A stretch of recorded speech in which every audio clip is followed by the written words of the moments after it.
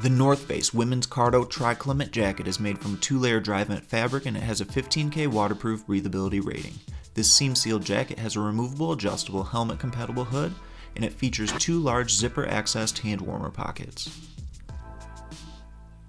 Moving to the inside of the jacket, you'll see that it features a separate zip-out liner which is filled with 100 grams of Heatseeker insulation. This liner can be worn on its own or together with the shell.